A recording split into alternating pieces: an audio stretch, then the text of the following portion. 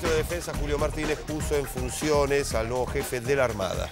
Y después de la ceremonia se refirió puntualmente a la ley de derribo que ha generado tanta polémica y que está contemplada en la emergencia de seguridad. Sí, juro. En la ceremonia donde puso en funciones al nuevo jefe de la Armada, vicealmirante Srur, el ministro de Defensa enumeró las directivas que le dio el presidente de la República respecto al nuevo rol de las Fuerzas Armadas.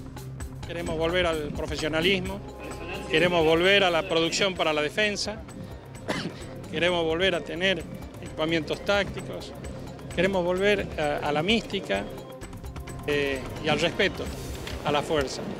Pese a aclarar que el principal flujo de narcotráfico en nuestro país es por tierra y agua, el ministro Martínez aseguró que la Argentina dispone de operatividad para aplicar la ley de derribo.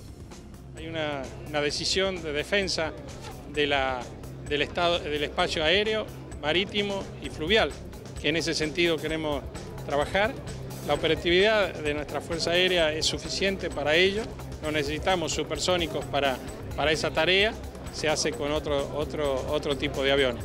Así que es una decisión, la lucha contra el narcotráfico, y ese es un pequeño eslabón de una larga cadena de decisiones que tenemos que tomar para poder avanzar en este sentido.